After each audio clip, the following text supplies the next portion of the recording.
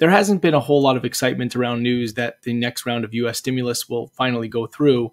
We think a lot of this has to do with the fact that the event was highly anticipated, and now that it's finally come, the market is more inclined to sell the fact especially after many perceive the stimulus to be underwhelming. Meanwhile, there has also been a lot of attention around the latest surge in coronavirus cases around the globe, which is forcing governments to firm up lockdown restrictions. And so the Monday vibe has been downbeat thus far. Brexit updates aren't doing anything to help matters either, with the two sides still very much deadlocked. Now, investors haven't been needing much at all to give them an excuse to keep buying into risk, but we wonder what there will be to grasp hold of for encouragement now that the US stimulus is out of the way and the vaccine has been priced in.